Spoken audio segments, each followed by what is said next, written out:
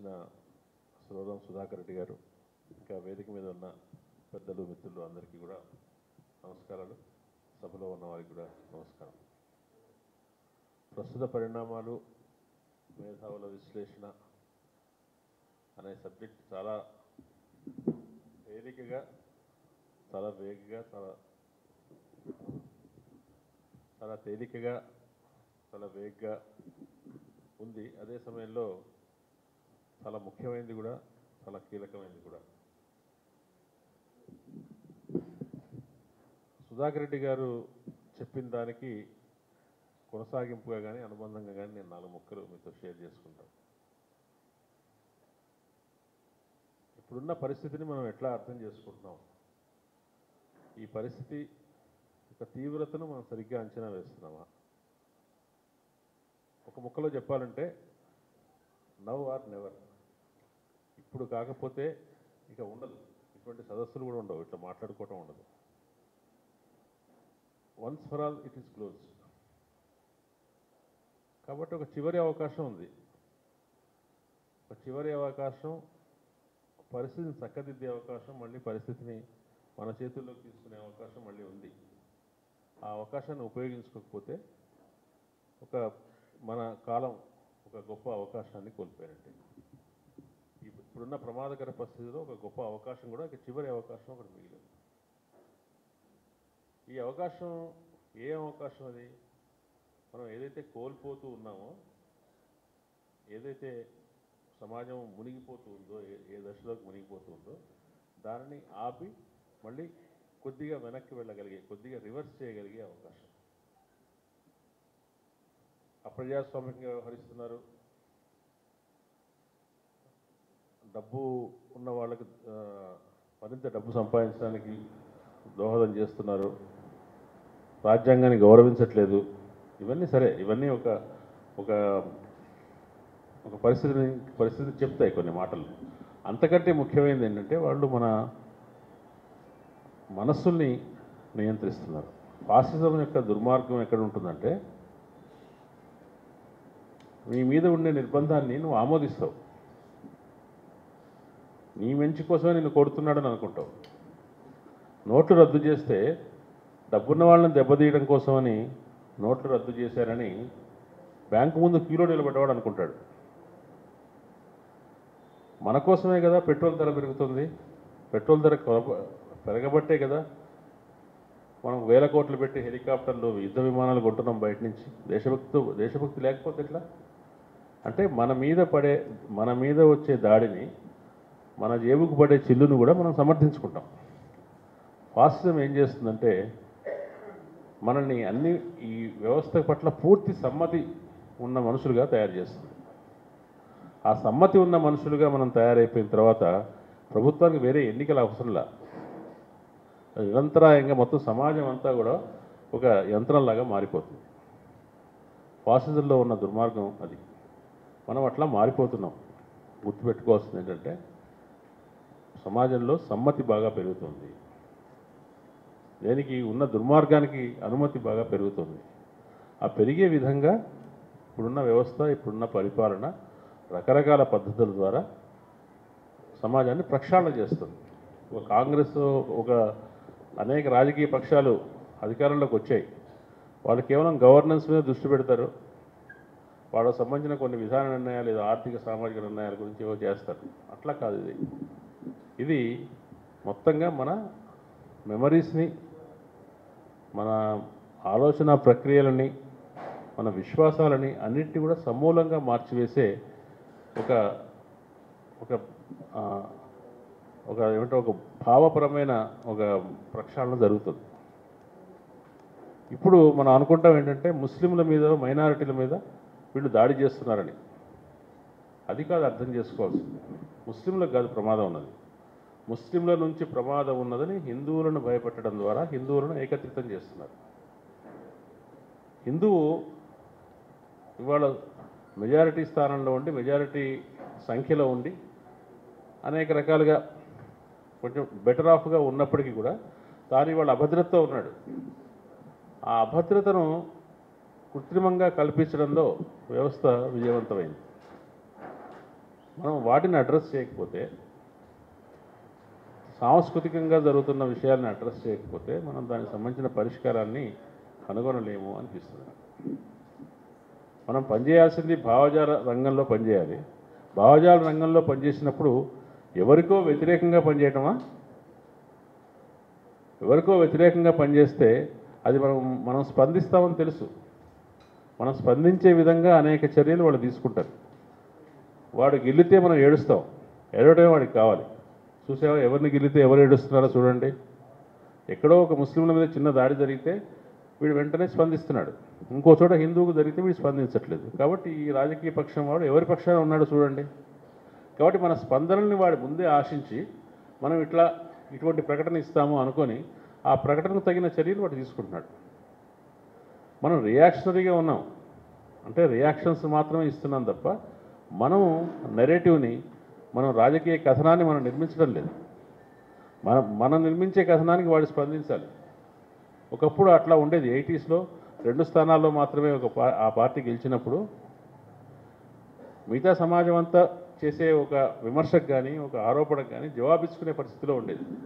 ఇవాళ సమాజంలో ప్రతి ఒక్కళ్ళు కూడా వాళ్ళ ముందు డిఫెన్స్ పడే పరిస్థితిని వాళ్ళు తీసుకొచ్చారు. ఈ పరిస్థితి ఎందుకు వచ్చింది అనేది అనే దాని గురించిన అవగాహన ఉంటుంది అవసరం. ఈ పరిస్థితి మన అందరం ఎంత బాధాకరమైన అంగీకరించాల్సిన విషయం ఏంటంటే సమాజం పట్ల ఎక్కువ బాధ్యత సమాజం మార్పు పట్ల ఎక్కువ నిబద్ధత ఉండవలసిన శక్తులు కాబట్టి వామపక్షాలే దీనికి బాధ్యత తీసుకోవాలి.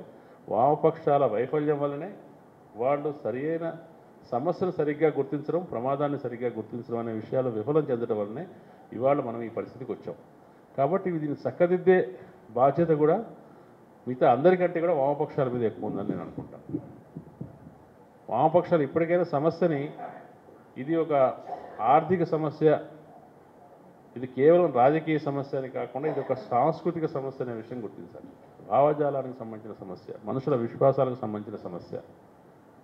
కాబట్టి ఆ విశ్వాసాల విషయంలో ఆ డేంజరస్ జోన్లో వాడు చేస్తున్న ప్లేని మనం ఏ రకంగా కౌంటర్ చేస్తాం? ఏ రకంగా కౌంటర్ నరేటివ్ బిల్డప్ చేస్తాం? ఏ రకంగా వాడు ఏం చెప్తున్నాడు ఇవాళ నరేంద్ర మోడీ? మీద సామాన్య ఓటర్లో ఎటువంటి వ్యతిరేక భావము లేదండి. ప్రభుత్వం మీద వ్యతిరేకత ఉండదు. నరేంద్ర మోడీ దేశం కోసం చాలా చేస్తున్నాడు.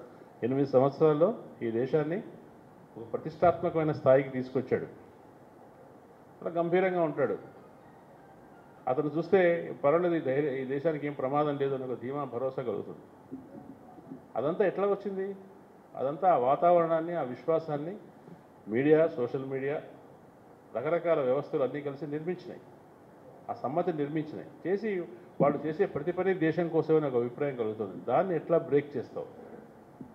మనకు తెలుసు. మనకు మనకు కావాల్సింది ఏంటంటే దీని యొక్క ఇప్పుడు నడుస్తున్న పరిపాలన వ్యవస్థకు సంబంధించిన లోగుట్టు మనకు తెలుసుకోవాలి. దాన్ని ఆ విషయంలో ఆ తెలుసుకోవడంలో విశ్లేషించడంలో ఎటువంటి రాజీ ఉండకూడదు. ఎటువంటి మొహమాటం ఉండకూడదు.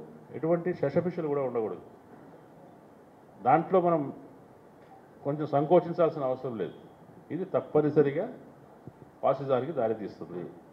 మన మన సామాజిక వ్యవస్థను అన్యాయం చేస్తుంది.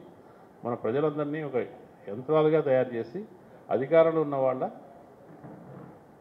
వాళ్ళు ఏం చేసినా దానికి ఒక సమ్మతి ఇచ్చేటువంటి వాళ్ళుగా తయారు చేస్తుంది. ఈ సమ్మతినంతా కూడగట్టుకుని అతను ఏం చేస్తాడు? ఎవరో కొంతమంది కార్పొరేట్లకు మరింత డబ్బు సమకూర్చి పెడతాడు. వాళ్ళకి ఆర్థిక అధికారాన్ని ఇస్తాడు. ఒక సమాజంలో ఒక రకమైన విశ్వాసాలకి సామాజిక అధికారం ఇస్తారు. ఇదంతా కూడా మన సమా మనం గత కొన్ని వేల ఏళ్ళుగా భారతదేశంలో ఉండే ఒక వైవిధ్యభరితమైన తాత్విక చింతనను గత డెబ్బై ఏళ్ళుగా ఎంతో కొంత స్వతంత్ర భారతదేశంలో మనం సాధించుకున్న ఒక సెక్యులర్ ఒక లిబరల్ వాల్యూ సిస్టమ్ అయితే ఉందో ఒక ఒక సామాజిక చింతన ఉంది. దాని అంతటిని కూడా దెబ్బతీస్తుంది. మొత్తం ఇంతకాలం మనం కూడగట్టుకుంది పోగు చేసుకుంది అంతా కూడా వదులుకోవాల్సి వస్తుంది. అది ఎంతో దూరంలో లేదు. మనం ఇష్టం వచ్చిన చాలా కీలకమైన నిర్ణయాలు. సమాజం ఎంతో చర్చ జరిగి కానీ ఎంతో గ- గొడవ జరిగి కానీ తీసుకోలేని కీలకమైన నిర్ణయాలు చాలా అవలీలగా తీసుకోగలుగుతున్నారంటే ఆ తీసుకోగలిగే సాహసం ఎక్కడి నుంచి వచ్చింది? ప్రజల మద్దతు నుంచే వచ్చింది. ఆ ప్రజల మద్దతు ఇన్ఫార్మ్డ్ మద్దతు కాదు. ఒక రకం ఉద్వేగపూరితమైన అంశాల వల్ల కలుగుతున్న మద్దతు. ఆ ఉద్వేగపూరితమైన అంశాలను ఎట్లా బ్రేక్ చేయాలి అనే విషయంలో కమ్యూనిస్టులు ఆలోచించవలసిన అవసరం ఉంది. ప్రజాతంత్రవాదులు ఆలోచించవలసిన సుధాకర్ రెడ్డి గారు చెప్పినట్టుగా ఒక విశాలమైన ఫ్రంట్ దేనికో వ్యతిరేకమైన ఫ్రంట్ కాదు. దేనికి అనుకూలమైన ఫ్రంట్ మనం నిర్మిస్తాం అనేది ముఖ్యం అందుకే మిగతా ఎన్ని విషయాలు రాజకీయంగా మనం ఎన్ని ఎన్ని విమర్శలైనా చేయొచ్చు కానీ రాహుల్ గాంధీ యాత్ర భారత్ జోడో అనే నినాదం ఇవ్వడంలో భారత్ జోడో అనే దాంట్లో ఒక పాజిటివ్ మెసేజ్ ఉంది. అది ఎవరికో ఎవరో తోడో చేస్తుంటే దాన్ని ఆపడం కోసం కాదు. రోకో భారత్ తోడో అనేది అటువంటి స్లోగన్ ఇచ్చుంటే అది రియాక్షనరీ స్లోగన్ అయి ఉండేది. అది ఒక పాజిటివ్ స్లోగన్. పాజిటివ్ స్లోగన్ కాబట్టి జరిగినంత మేరకు పరిమితంగా అది కొంత కొంత స్పందన కలిగిస్తున్నది. మనం కూడా పాజిటివ్గా భారతదేశం తన విలువలను ఎట్లా కాపాడుకోవాలి? స్వతంత్ర భారతదేశం తన జాతీయోద్యమ ఆదర్శాలను ఎట్లా కాపాడుకోవాలి? మనుషులు మనం మనిషితనాన్ని ఎట్లా కాపాడుకోవాలి? అటువంటి ఒక పాజిటివ్ ఇమేజ్ నుంచి మనుషులు మనుషుల్ని కూడగట్టుకోవడం మొదలు పెడితే నిజానికి అది రాజకీయ పార్టీల స్థాయిలో అయితే చాలా సమస్యలు చాలా లెక్కలు చాలా హిస్టరీకి సంబంధించిన చాలా హ్యాంగ్ ఓవర్స్ ఇవన్నీ ఉంటాయి. కానీ ఆలోచనాపరుల లెవెల్లో మేధావుల స్థాయిలో ఒక విశాలమైన వేదిక ఏర్పడి దీన్ని విస్తృతంగా ప్రచారం చేయాల్సిన అవసరం ఉంది. ప్రచారం చేసి అవి రాజకీయ పక్షాలకి గైడెన్స్ ఇవ్వగలగాలి. వాళ్ళ రాజకీయ పక్షాల బలహీనత కానీ దయనీయత కానీ ఏంటంటే వాటికి నైతికత లేదు. మనం ఇప్పుడున్న స్థితిలో మనం బలహీనులం కాబట్టి వామపక్షాలు బలహీనులు కాబట్టి మీరు పనికిరాని వారు అంటున్నారు. మనం కూడా నిజంగానే కుంగిపోయి ఉన్నాం. కుంగిపోయి ఉన్నాం అనేది విమర్శగా ఒక నిందగా చెప్పట్లేదు. వాస్తవం అది. మనం దాన్ని అంగీకరించకపోతే వాస్తవాన్ని అంగీకరించకపోతే మరింతగా నష్టపోయే అవకాశం ఉంది. మనం చాలా కుంగిపోయి ఉన్నాం. చాలా ఈ మా మాట మన మాట మనకే పీలగా వినిపిస్తుంది. మన మాట గట్టిగా వినపడటానికి మనకు ఒక ఆత్మస్థైర్యం కావాలి. ఆత్మస్థైర్యం కావాలి దీన్ని ఈ స్థితిని అధిగమిస్తామని ఒక నమ్మకం కావాలి. అందుకోసం సరే జనం విసిగిపోయి యాంటీ ఇంకంబన్సీ వస్తుంది తప్పనిసరిగా వీళ్ళు ఓడిపోతారులే మనం ఏం చేయక్కర్లేదు. ప్రజలకు ప్రజలు భరించలేమనుకున్నప్పుడు భరించలేము అనుకున్నప్పుడు వాళ్ళే ఉన్న సిస్టమ్ని వాళ్ళు ఓడిస్తారులే. అని అనుకుంటారు మనం చాలామంది. కాంగ్రెస్ పార్టీ కూడా అట్లాగే అనుకుంటుంది. మేము పదేళ్ళు పరిపాలించాం కదా వీళ్ళు పదేళ్ళు పరిపాలిస్తే ఓటర్లు సహజంగానే మళ్ళీ కాంగ్రెస్ని దించేస్తారు. అట్లా ఉండదు. ఈ రెజీం అటువంటిది కాదు. ఈ రెజీం నిరంతరంగా తనకు కావలసిన ఆమోదాన్ని తనకు కావలసిన జనా జనామోదాన్ని సృష్టించుకుంటూనే ఉంటుంది. నిన్న చూసారే మన దసరా రోజున కర్ణాటకలో దసరా ఊరేగింపు రోజు కొంతమంది జనం వెళ్ళి ఒక చారిత్రాత్మక దర్గాలోకి వెళ్ళి లోపల పూజలు చేసి వచ్చారు. ఇప్పుడు దాన్ని ఖండించాలంటే కాంగ్రెస్ భయం. వాళ్ళు దర్గా వాళ్ళు వెళ్ళి పోలీసులో కంప్లైంట్ పోలీసులు కంప్లైంట్ ఇచ్చారు. దాని మీద చర్య తీసుకోవాలంటే బీజేపీకి కూడా భయం. ఎందుకంటే బీజేపీకి అనుకూలమైన నెరేటివ్ అది. ఈ ఈ వ్యవస్థలో మనం ఏదైనా ముస్లింలకు ఏమైనా చేయొచ్చు. ఏమైనా చేయొచ్చు. చేయగలిగే ధైర్యం మాకుంది అని చెప్పడం ద్వారా హిందువులకి తాము పై చే పై స్థాయిలో ఉన్నాము పై మెట్టులో ఉన్నాము అనే ఒక భరోసాని ఇస్తున్నారు ఒక ఒక ఫీలింగ్ని కలిగిస్తున్నారు. ఒక ఒకవైపున అధిక సంఖ్యాకులైన ముస్లింలు తాము అభద్రతతో ఉన్నామని తాము ఉనికికి ప్రమాదమని ఆ ప్రమాదం చిన్న సంఖ్యలో ఉన్న మైనార్టీ నుంచి వస్తుందని మెజారిటీ సంఖ్యలో ఉన్నవాడు నమ్మేటట్టుగా చేస్తున్నారు. అప్పుడప్పుడు పర్వాలేదు మనమే పరిపాలన ఉన్నాం మనమే పైచేయిగా ఉన్నాం వాళ్ళని మనం అణిచివేస్తున్నాం మేము సమర్థమైన పాలకులం కాబట్టి వాళ్ళని ఎక్కడ ఉంచాలో అక్కడ ఉంచుతున్నాము అనేటువంటి ఒక విశ్వాసాన్ని కూడా కలిగిస్తున్నారు. ఇవి చాలా ఈ రంగంలో పనిచేయటం కమ్యూనిస్టులు కానీ వామపక్షాల వాళ్ళకి సాంప్రదాయకంగా అలవాటు లేని విషయం.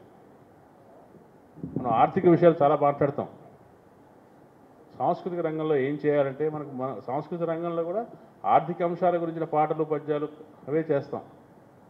కానీ ఎట్లా మనుషుల మేధస్సు మీద పనిచేస్తున్న మనుషుల హృదయం మీద పనిచేస్తున్నటువంటి ఒక బలమైన ప్రభావాన్ని తొలగించడం ఎట్లా అనే దాని గురించి ఆలోచించాల్సిన అవసరం ఉంది. దానికి కావాల్సింది ఏంటంటే ఇప్పటివరకు మనం ఉన్నటువంటి సాంప్రదాయకంగా ఆలోచిస్తున్న ఆలోచన చట్రాన్ని కూడా పక్కన పెట్టి కొత్తగా ఆలోచించడానికి సిద్ధపడాలి. కొత్తగా ఆలోచించబడి ఎవరితో ఇది అత్యవసరమైన పరిస్థితి కాబట్టి ఇప్పుడు కాకపోతే మనం ఎప్పుడు చేయలేం కాబట్టి ఇప్పుడు కాకపోతే మనం ఎప్పుడు ఇట్లా సమావేశం ఏర్పాటు చేసుకొని ఇట్లా మాట్లాడుకునే స్థితి కూడా ఉండదు కాబట్టి ఇది లాస్ట్ రిసార్ట్ కాబట్టి మనం ఏం చేయాలంటే ఒక అన్ని రకాల శ్రేణులతో అన్ని రకాల భావఛాయలున్న శ్రేణులతో కలిసి ఒక ఒక కామన్ పాయింట్ ఏదో ఒక పాయింట్ మీద ఆధారపడి మాట్లాడి అందరినీ కూడగట్టవలసిన అవసరం ఉంది. ఆ కూడగట్టడం ఒక పాజిటివ్ వేలో జరగాలి.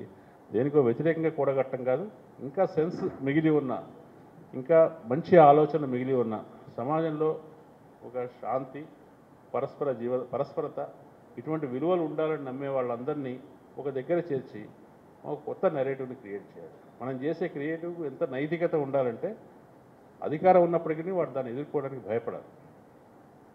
ఆ శక్తి అటువంటి ఇటువంటి పని చేయగలిగే అలవాటు కానీ సాంప్రదాయం కానీ ఎక్స్పీరియన్స్ కానీ వామపక్షాలు లేకపో లేకపోవచ్చు కానీ చేయాలనుకుంటే చేయగలిగే కమిట్మెంటు చేయగలిగేటువంటి కట్టుబాటు ఉన్నటువంటి కార్యకర్తల శ్రేణులు ఇవన్నీ కూడా ఈ సంస్థలకు ఉంటాయి. కాబట్టి నవ్ ఆర్ నెవర్ మనం ఏదో చేయాలి. ఏదో చేయకపోతే మనం ఉండవు. Thank you